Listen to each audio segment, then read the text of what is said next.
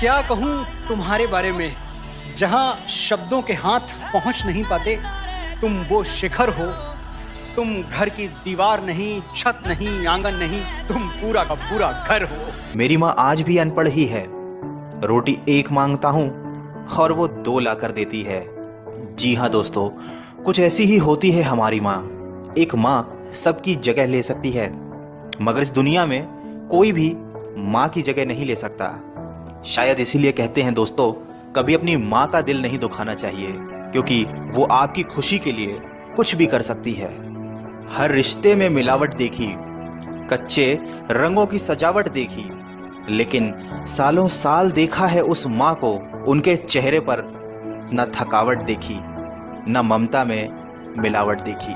आज फिर गुजरा जमाना याद आता है, मुझे घर का खाना याद आता है। दिन भर की थकावट जब भूख में बदलती है, वो प्यार से माँ का खिलाना याद आता है। मेरी खातिर तेरा रोटी पकाना याद आता है। अपने हाथों को चूल्हे में जलाना याद आता है। वो डांट डांट कर खाना खिलाना याद आता है। मेरे वास्ते तेरा पैसे बचाना याद आता है। कहीं हो ना जाए, घर की मुसीबत मुझको मालूम। छुपाकर तकलीफें तेरा मुस्कुराना याद आता है।